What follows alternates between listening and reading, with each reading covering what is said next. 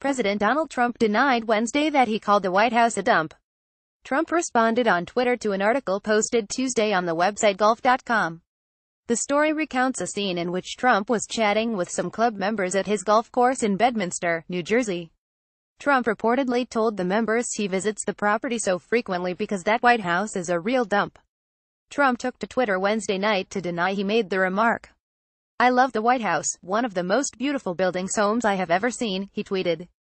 But fake news said I called it a dump totally untrue. Trump has spent nearly every weekend of his presidency visiting various properties he owns and leases, including Bedminster.